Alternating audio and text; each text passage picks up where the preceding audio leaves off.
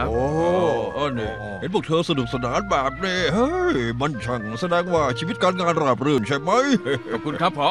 พวกเราสามคนทำงานหามรุ่งหามค่ำแต่ตาเป้าเนี่ยสุดยอดที่สุดเลยเป็นนักแต่งเพลงชื่อดังเอออ๋ออย่าฟังโยงจือพูดเพ้อเจ้อนะ ผมก็แค่เคยทำเพลงไว้สองเพลงตอนหนุ่มๆก็เท่านั้น นี่นะ ตอนเด็กเธอมีพรสวรรค์มากเออแล้วเธอละพอหนุ่มเธอยังได้ร้องเพลงอ๋ออยู่ไหมผมผมทำการค้าเล็ก ๆ นะครับ เรื่องหาเงินเธอละเนื้อเต้นที่สุดเลยโยจือยังได้ร้องเพลงอยู่ไหมเวลาขับรถก็จะร้องเพลงอ๋อผอตอนที่ผมขับรถแท็กซี่อยากไปไหนโทรหาผมได้เลยเดี๋ยวผมไปรับ โอ้ยโยจือโยจือทำงานอิสระแบบนี้ก็ดีนะ เออเฮ้ยใจล่ะ เธอทำอะไรอยู่ เออ โอ้ฉันจำได้ว่าเธอมีพรสวรรค์ด้านศิลปะ ว่าไง ตอนนี้เป็นครูสอนศิลปะอยู่ใช่ไหม เอ่อผมเคยทำงานมาหลายงานมากเลย เออตอนนี้ผมเป็นคนเฝ้าบ้านครับ คนเฝ้าบ้านอะไร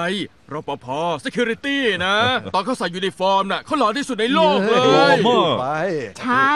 ตั้งใจทำงานมากด้วย ไม่เป็นไร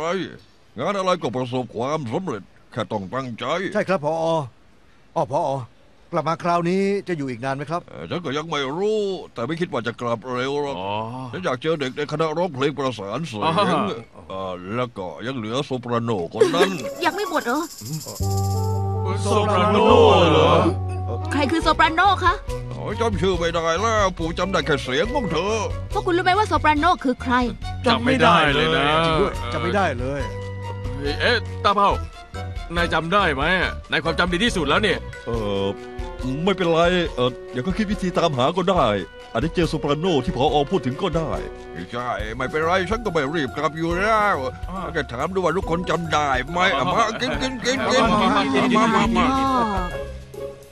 ไม่ใช่ว่าอยากจะตามหานักเรียนเก่าๆอย่างเดียวหรอกเหรอฉันก็ไม่รู้ว่าทำไมจู่ๆถึงมีโซปราโนหญิงผุดขึ้นมาได้